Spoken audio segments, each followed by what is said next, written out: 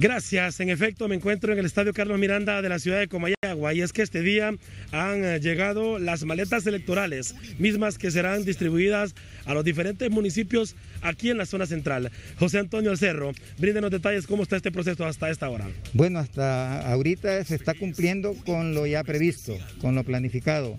Se esperaban para hoy y hoy estaban llegando a las 7 de la mañana desde Tegucigalpa y ahorita están en la descarga de las rastras y camiones que traen esas maletas electorales para enviarlas a los centros de acopio de cada municipio. Por ello estamos satisfechos. Ahora bien, ¿serán menos municipios en esta ocasión que serán distribuidos, tengo entendido? Sí, tiene razón. Los municipios de la región del noreste del departamento, estamos hablando de San Luis, Esquías, San José del Potrero, Minas de Oro, están lejanos de Comayagua, Comayagua cabecera. Por lo tanto, eh, se decidió eh, con el Consejo Nacional Electoral que ellos lo reciban en Francisco Morazán, en uno de los municipios cercanos como el Porvenir o San Ignacio. El día de hoy eh, comenzará a distribuirse en municipios aquí en la zona central también, tengo entendido. Hay cinco zonas, la número uno que es la más lejana, ¿verdad? Esa número uno eh, se encuentra ubicada San Jerónimo, La Libertad, La Trinidad, Ojos de Agua y Las Lajas.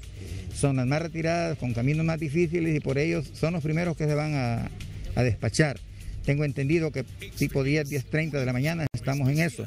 Hay otra zona 2, Iguatepeque, Miámbar, Taulabé y San José de Comayagua, que van por pavimento, pero que también son un poco retirados. Y el equipo 3, San José sería el Rosario solamente, el equipo número 3. Ese va a salir a la 1 de la tarde. Tipo 2 de la tarde estaría saliendo la ruta 4, Comayagua, La Maní, Vía de San Antonio y Ajuterique, que son los lugares cercanos. Y a las 4 de la tarde, San Sebastián, Umuya y El Maní como ruta número 5. Con eso completamos.